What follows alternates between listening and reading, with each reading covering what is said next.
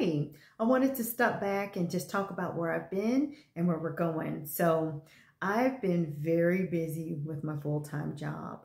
Uh, it's been a 50 plus hour week for like the last three months straight. So I've been just swamped. However, I do believe in work-life balance. And because of that, I took this week off and my creative juices were able to flow after I finally caught up on my energy.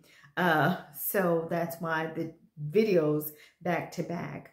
Um, and since I am off, I wanted to take time to spend as much time with the, the channel as possible. So one of the things that, you know, I've talked about is that I am challenged in the summertime because I love layers. And so I had kind of like a writer's block where I know how to dress outside of like when I'm going somewhere. And but I wanted to make sure that for the channel, I was able to share insight on how you can piece certain things in the summertime. And layering actually was my block. And it hit me this week. You are removing layers in the summertime. That's it.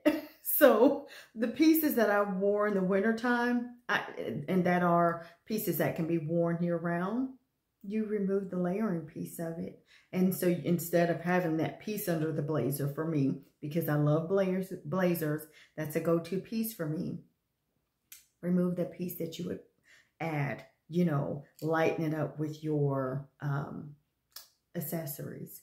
Also, try when you are looking for pieces that can be worn year round.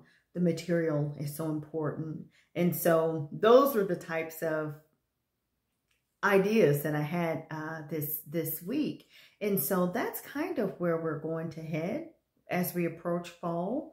Um, picking out the pieces. And it's going to be more so about sharing tips and tricks and even the teaching um, because I'm aware that when you are not into style. And I am into style more so than the fashion piece of it, but style is a part of every area of our life, like I've said many times before.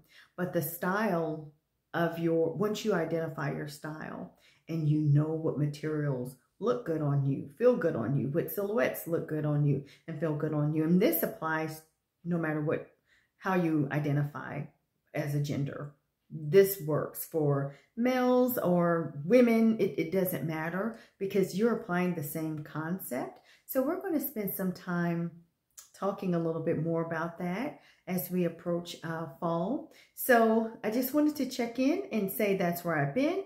That's where I see the channel heading. And um, so it, if I don't get a chance to see you in the next few weeks, continue to be safe. Enjoy the summer.